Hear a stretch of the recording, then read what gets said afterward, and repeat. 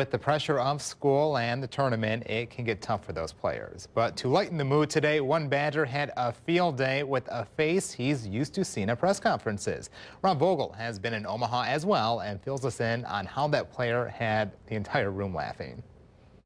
The college basketball season can be a grind. Even the NCAA tournament can wear down teams full of college athletes.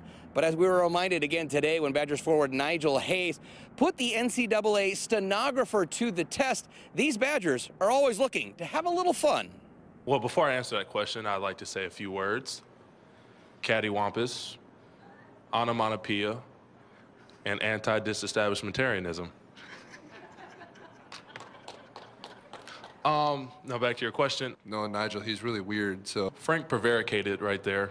The wonderful young lady over there, I think her job title is a stenographer.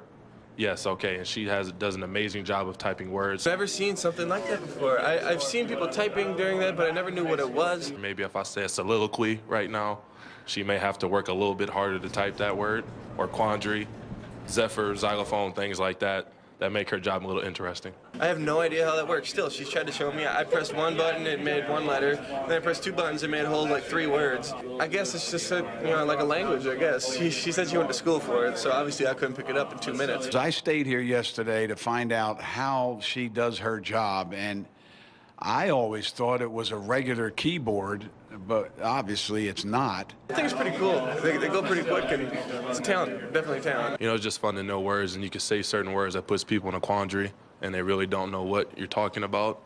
And then it's just, you know, it makes for more fun, I guess. I'm sorry for my usage of words. I didn't mean to make your job any more difficult. She may have been able to deal with Nigel's vocabulary, but certainly put the NBC 15 transcription team to the test. Coming up later in sports, we'll break down the one duck the Badgers must slow down if they are to win here tomorrow night. In Omaha, Rob Vogel, NBC 15 Sports.